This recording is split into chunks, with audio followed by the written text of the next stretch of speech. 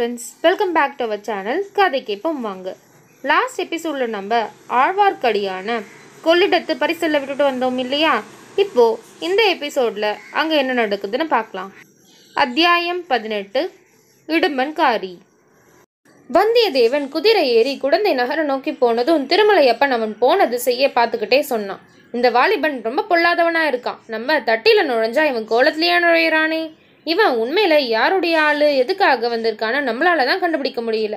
கடம்பூர் மாளிகையில் நடந்த சதி கூட்டத்தில் இவன் கலந்துக்கிட்டானானும் தெரியல. நல்ல வேலையா குடந்தை ஜோதிடரை பற்றி இவன்கிட்ட சொல்லி வச்சோம். நம்மளால தெரிஞ்சுக்க முடியாததை குடந்தை ஜோதிடராவது தெரிஞ்சுக்கிறாரான்னு பார்க்கலாம் அப்படின்னு திருமலையப்பன் அவனுடைய மனசுக்குள்ளேயே நினச்சிக்கிட்டான். என்ன சுவாமி அரச மரத்தோடு பேசுறீங்களா? இல்ல உங்களுக்கு நீங்களே பேசிக்கிறீங்களா? அப்படின்ற குரல் கேட்டு திருமலையப்பன் திரும்பி பார்த்தான். கடம்பூர்ல இருந்து வந்த வந்தியத்தேவனுக்கு குதிரை பிடிச்சு கொடுத்த பணியால் பக்கத்துல நின்னான். அப்பனே நீயா கேட்ட நான் நானே பேசிக்கவும் இல்லை அரச மரத்தோடவும் பேசவும் இல்லை. இந்த மரத்துக்கு மேலே ஒரு வேதாளம் இருக்குது அது கூட தான் பேசிக்கிட்டு இருக்க அப்படின்னு திருமலையப்பன் சொன்னான். ஓஹோ அப்படிங்களா? இந்த வேதாளம் சைவமா வைஷ்ணவமா? அப்படின்னு அந்த ஆள் கேட்டான். அதை தான் நானும் அதுக்கிட்ட கேட்டுட்டு இருந்தேன் அதுக்குள்ள நீ வந்துட்ட. வேதாளம் மறைஞ்சு போச்சு. போனா போகட்டும். உன்னோட பேர் என்ன அப்பனே? அப்படின்னு ஆழ்வார்க்கடியான் நம்பி கேட்டான். எதுக்காக கேட்குறீங்க சுவாமிகளே? நடு படகுக்கு விழாம காப்பாத்தினியே. அப்படிப்பட்ட புண்ணியவனான உன்ன ஞாபகத்துல வச்சுக்க வேண்டாமா? என் பேரு என் பேரு இடுமன்காரி சுவாமி அப்படின்னு இழுத்த மாதிரி சொன்னான். ஓ இடுமன்காரியா? எப்போ கேட்ட ஞாபகம் இருக்கு. இடுமன்காரி அப்போ விசித்திரமான ஒரு காரியம் செஞ்சான். தன்னுடைய விரிச்ச கை ரெண்டையும் ஒன்று மேலே ஒன்று குப்புற வச்சு ரெண்டு ஓரத்து கட்ட விரலையும் ஆட்டினான். ஆட்டிக்கிட்டே திருமலையோடைய முகத்தை பார்த்தான். அப்பனே இது என்ன சமிக? எனக்கு விளங்கலையே அப்படின்னு திருமலை சொன்னான். அப்போ இடுமன்காரியோடைய கரிய முகம் மேலும் கருத்து ரெண்டு புருவங்களும் நெறிஞ்சுது ஆனா நான் ஒன்றும் சமிக செய்யலையே? அப்படின்னு இடும்பன்காரி சொன்னான். செஞ்ச செஞ்ச நான் பார்த்தேன். பரதநாட்டிய சாஸ்திரத்துல திருமாலுடைய முதல் அவதாரத்துக்கு ஒரு அஸ்தம் பிடிப்பாங்க இல்லையா? அது மாதிரி செஞ்சியே திருமாலுடைய முதல் அவதாரம்னா என்ன? அது என்ன? எனக்கு தெரியலையே சுவாமி. விஷ்ணுவோடைய முதல் அவதாரம் தெரியாதா? மச்சவதாரம் மீனை சொல்றீங்களா? ஆமாம் அப்பனே ஆமாம். அப்படின்னு திருமலை சொன்னான். நல்ல வேலை சுவாமி உங்க கண்ணே விசித்திரமான கண்ணா இருக்கே. பெரும் மரத்து மேல வேதாளம் இருக்குதுன்னு சொல்றீங்க. பெருங்கையில மச்சவதாரம் தெரியுதுன்னு சொல்றீங்க. ஒருவேளை மீன் மேல சாமியாருக்கு கொஞ்சம் ஆசை அதிகமோ? அப்படின்னு இடுமன்காரி கேட்டான். ச்சே அது மாதிரி எல்லாம் பேசாத அப்பனே. அது போனா போகட்டும். நம்ம கூட படகுல ஒரு வீர சைவர் வந்தார் இல்லையா? அவரு எந்த பக்கம் போனார்னு பாத்தியா? பார்க்காமல் என்ன? பார்த்தேன். நான் குதிரை வாங்க போன பக்கம்தான் அவரும் வந்தாரு. உங்களை பத்தி திட்டிக்கிட்டே வந்தாரு. அப்படின்னு இடுமன்காரி சொன்னான். என்னென்ன திட்டினாரு? உங்களை மறுபடியும் அந்த வீரசைவர் பார்த்தா உங்கள் முன் குடுமைய சிரைச்சு தலைய மொட்டை அடிச்சிட்டு வாராம் ஓஹோ அந்த வேலை கூட அவருக்கு நல்லா தெரியுமோ? உங்க திருமேனில இருக்கிற நாமத்தையெல்லாம் அழிச்சு திருநீரை பூசிடுவாராம் ஓ அப்படின்னா அவரை கட்டாயம் பார்த்தே ஆகணும். அவருக்கு எந்த ஊருன்னு தெரியுமோ? அவருக்கு புள்ளி இருக்கும் வேலூர்னு அவரே சொன்னாருங்க அப்படின்னு இடுமன்காரி சொன்னோம் ஓ அந்த வீர சைவரை போய் பார்த்துட்டு தான் மறுகாரியம் அப்பனே நீ எங்க போற? ஒருவேளை நீயும் அந்த வழிதான் தான் போறியோ இல்ல இல்ல. எதுக்காக நான் அங்க வரேன்? திரும்பி கொள்ளிடத்தை தாண்டி கடம்பூருக்கு தான் போறேன். இல்லனா எஜமானர் என்னோட கண்ணை பிடிங்கி விட மாட்டாரா? ஆழ்வார்க்கடியான் சொன்னது மாதிரி இடுமன்காரி திரும்பி பார்த்தப்போ படகு புறப்படுற தருவாயில இருந்தது. சரி சாமியாரே நான் போறேன் அப்படின்னு சொல்லிட்டு படகு துறையை நோக்கி சீக்கிரமா இடுமன்காரி நடந்து போனான். பாதி வழியில ஒரு தடவை திரும்பி பார்த்தான். அதுக்குள்ள ஆழ்வார்க்கடியான் ஒரு விசித்திரமான காரியம் செஞ்சான். மலமலன்னு அரச மரத்து மேல ஏறி பாஞ்சி ஒரு கிளையில ஏறி உட்கார்ந்தான். அதனால இடுமன்காரியோடைய கண்ணுல அவன் தெரியல. இடுமன்காரி நதியுடைய பரிசல் துறைய அடைஞ்சான். படகோட்டில ஒருத்தவன் அக்கறைக்கு வரியாப்பா அப்படின்னு கேட்டான். இல்ல இல்ல அடுத்த படகுல வரேன். நீ போ அப்படின்னு இடுமன்காரி சொன்னான். அட இவ்வளவுதானா? நீ வர வேகத்தை பார்த்துட்டு இல்லையா படகு நிறுத்தின? அப்படின்னு சொல்லிட்டு ஓடக்காரன் கோல் போட்டு ஓடத்தை நதியில் செலுத்தினான். இதுக்குள்ள அரச மரத்துக்கு நடு மத்தியில் நல்லா மறைஞ்சு உட்கார்ந்துட்டு இருந்த திருமலை ஓஹோ நான் நினச்சது சரியா போச்சு. இவன் படகுல ஏறல. திரும்பி தான் வரப்போகிறான் வந்த பிறகு இவன் எந்த பக்கம் போகிறான்னு பார்க்கணும். இவனுடைய கையில் மச்சஹஸ்த முத்திரையை காட்டினா இல்லையா? அதை நான் நல்லா பார்த்தேன். அதோடைய பொருள் என்ன? மீன் மீன். மீன் சின்ன எதை குறிக்குது?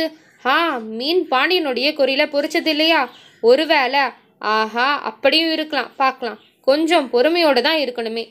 பொறுத்தவர் பூமி ஆழ்வர் பொங்கனவன் காடு ஆழ்வான் ஆனால் இந்த காலத்தில் பூமி ஆள்றதை காட்டிலும் காடை ஆள்றது தான் மேலாக தோணுது. ஆனாலும் பொறுத்து தான் பார்க்கலாம். இப்படி அரச மரத்துல இருந்த அருவுருவமான வேதாளத்துக்கிட்ட திருமலை சொல்லிக்கிட்டு இருந்தான். சீக்கிரமாவே அவன் எதிர்பார்த்தபடியே நடந்தது. படகு இடுமன்காரியை ஏத்திக்காம போச்சு. இடுமன்காரி நதிக்கரையிலிருந்து அரச மரத்தை உத்து பார்த்தான். அப்புறம் நாலா பக்கமும் துளாவி துளாவி பார்த்தான். கடியான் எங்கும் இல்லைன்னு தெரிஞ்சுக்கிட்டு திரும்பி அரச மரத்துக்கே வந்து சேர்ந்தான். இன்னொரு தடவை சுத்தி சுத்தி பார்த்துட்டு மரத்தடியில உட்கார்ந்தான். எதையோ யாரையோ தேடிட்டு இருக்கிற மாதிரி அவனுடைய கண்கள் நாலா பக்கமும் சுத்தி சுத்தி தேடிட்டு இருந்தது. ஆனா மரத்து மேல மட்டும் அவன் அண்ணாந்து பார்க்கல. பார்த்துருந்தாலும் திருமலை நல்லா தன்னுடைய மேனிய மறைச்சிக்கிட்டு உட்கார்ந்துட்டு இருந்ததுனால அவனுக்கு தெரிஞ்சிருக்காது. சுமார் ஒரு நாடிக நேரம் போச்சு. திருமலையுடைய கால்கள் மறுக்க தொடங்குச்சு. இனி ரொம்ப நேரம் மரத்துலேயே உட்கார்ந்துட்டு இருக்க முடியாதுன்னு அவனுக்கு தோணுச்சு. இடுமனும் மரத்தடியிலிருந்து எழுந்துக்கிற மாதிரி தெரியல.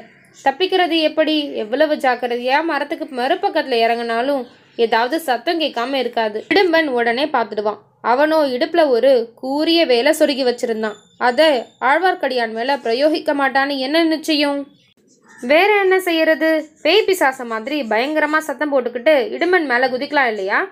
குதிச்சா தன்னை வேதாளன்னு நினச்சி அவன் பயந்து மயக்கம் போட்டு விழலாம் இல்லையா? அப்படி இல்லைன்னா தப்பிச்சு ஓடக்கூட பார்க்கலாம். அந்த சமயத்தில் தானும் ஓடி போகலாம் இப்படி திருமலை எண்ணிட்டு இருந்த சமயத்தில் அவனுடைய சோதனை முடியிற மாதிரி தெரிஞ்சுது. ஒரு ஆளு தென்மேற்கு திசையில இருந்து அதாவது குடந்தை சாலை வழியா வந்துட்டு இருந்தான். அவனுக்காக தான் இடுமன்காரி இவ்வளோ நேரமா காத்திருக்கிற மாதிரி திருமலையுடைய உள்ளுணர்ச்சி சொல்லுச்சு. புது ஆள் வந்ததை பார்த்ததும் அரச மரத்தடியில உட்கார்ந்துட்டு இருந்த இடும்பன் எழுந்து நின்னான். வந்தவன் முன்னால இடும்பன் செஞ்ச சமிகையே செஞ்சான். அதாவது ஒரு விரிச்ச புறங்கை மேல இன்னொரு விரிச்ச கையை வச்சு ரெண்டு கட்டை விரலையும் ஆட்டி மச்ச சமிகை செஞ்சு காமிச்சான்.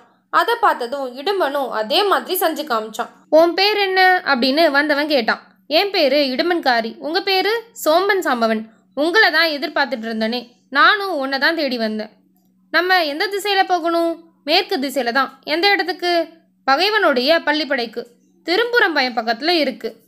சத்தமா பேசாத யாருக்கு அதுலயாவது விழுந்துட போகுது அப்படின்னு சோம்பன் சாம்பவன் நாலா பக்கமும் திரும்பி பார்த்தான். இங்கே யாரும் இல்லை. முன்னாலேயே பார்த்து வச்சுட்டேன். பக்கத்தில் எங்கேயும் ஒளியே இடம் இல்லையே கிடையவே கிடையாது. அப்படின்னா புறப்படு. எனக்கு அவ்வளவு நல்லா வழி தெரியாது. நீ முன்னால் போ. நான் கொஞ்சம் தூரம் தள்ளியே வரேன். அடிக்கடி நின்று பின்னாடி நான் வரேனான்னு பார்த்துக்கிட்டே போ. அப்படின்னு சோம்பன் சாம்பவன் சொன்னான். ஆகட்டும். வழி நல்ல வழி கிடையாது. காடும் மேடும் முள்ளும் கல்லுமா இருக்கும். ஜாகிரதையாக பார்த்து நடந்து போகணும். சரி சரி நீ புறப்படு. காட்டு வழியாக இருந்தாலும் யாராவது எதிர்க்க வர்றது தெரிஞ்சால் மறைஞ்சுக்கணும். தெரியுதா? தெரியுது தெரியுது. இடும்பன்காரி கொள்ளிட கரையோரமாக மேற்கு திசையை நோக்கி போனான். அவனுக்கு கொஞ்சம் பின்னால சோம்பன் சாம்பவன் தொடர்ந்து போனான். ரெண்டு பேரும் கண்ணுலேருந்து மறையிற வரையில ஆழ்வார்க்கடியான் மரத்து மேலேயே இருந்தான். எல்லாத்தையும் பார்த்துக்கிட்டும் கேட்டுக்கிட்டும் உட்கார்ந்துட்டு இருந்தான். ஆஹா காலம் பொல்லாத காலம். எதிர்பாராத காரியங்கள் எல்லாம் நடக்குது. ஏதோ ஒரு பெரிய மர்மமான காரியத்தை தெரிஞ்சுக்கணும்னு கடவுள் அருளால் சந்தர்ப்பம் கிடச்சிருக்கு. இனி நம்முடைய சாமர்த்தியத்தை பொறுத்தது தான் விஷயத்தை தெரிஞ்சுக்கிறதும் தெரிஞ்சுக்காததும். கடம்பூர் மாளிகையில் அறகுறையாக தான் தெரிஞ்சுக்க முடிஞ்சுது. இங்கேயும் அப்படி ஏமாந்து போகக்கூடாது திருப்பூரம்பயம் பள்ளிப்படைனா கங்க மன்னன் பிரதி விபதியுடைய பள்ளிப்படையை தான் சொல்லியிருக்கணும். அந்த பள்ளிப்படையை கட்டி நூறு வருஷம் ஆகுது. அதனால் பாழடைஞ்சு கிடக்குது. சுற்றிலும் காடு மண்டி கிடக்கு. கிராமமும் கொஞ்சம் தூரத்தில் தள்ளி தான் இருக்குது இவங்க எதுக்காக அங்கே போகிறாங்க இந்த ரெண்டு பேர் மட்டும் பேச வேண்டிய விஷயமா இருந்தனா இங்கே பேசியிருக்கணும். காட்டு வழியில் ஒரு காத தூரம் போக வேண்டியதில்லையே. அதனால இன்னும் கொஞ்சம் பேர் அங்கே வரப்போறாங்கன்றது நிச்சயம். எதுக்காக பிரதிவிபதியோடைய பள்ளிப்படைய பகைவனுடைய பள்ளிப்படைன்னு இவங்களில் ஒருத்தவன் சொல்லணும்? பிரதிவிபதி யாருக்கு பகைவன்? ஆஹா நாம நினைச்சது உண்மையாகும் போல இருக்கே. எதுக்கும் பார்த்து தெரிஞ்சுக்கலாம். இவங்க கொள்ளிடக்கரையோட போறாங்க. நம்ம மண்ணிக்கரையோட போகலாம். மண்ணிக்கரையில காடு அதிகமா அடர்ந்திருந்தாலும் பாதகம் கிடையாது. காடும் மேடும் கல்லும் முள்ளும் நமக்கு என்ன லட்சியம்? நம்மளை கண்டு அதுதான் பயப்படணும். இப்படியெல்லாம் யோசிச்சுக்கிட்டு வாயோட முணுமுணுத்துக்கிட்டு திருமலை அரச மரத்துல இருந்து இறங்கி கொஞ்சம் தெற்கு நோக்கி போனான். மண்ணி ஆறு வந்தது. அது கரையோட மேற்கு நோக்கி நடையை கட்டினான். ஜனசஞ்சாரம் இல்லாத அடர்ந்த காடு வழியாகவும் ஆழ்வார்க்கடியான் புகுந்து சூரியன் அஸ்தமிக்கும் சமயத்துல திருப்புறம்பயம் பள்ளிப்படை கோயில அடைஞ்சான். இதோட இந்த எபிசோட் முடிஞ்சது ஃப்ரெண்ட்ஸ் அடுத்த எபிசோட்ல திருப்புறம்பயம் பள்ளிப்படையில என்ன நடக்குதுன்னு பார்க்கலாம். தேங்க்ஸ் ஃபார் வாட்சிங் இந்த வீடியோ உங்களுக்கு பிடிச்சிருந்தா லைக் பண்ணுங்கள் ஷேர் பண்ணுங்கள் சப்ஸ்கிரைப் பண்ணுங்கள் கூடவே கமெண்ட்டும் பண்ணுங்கள் தேங்க்யூ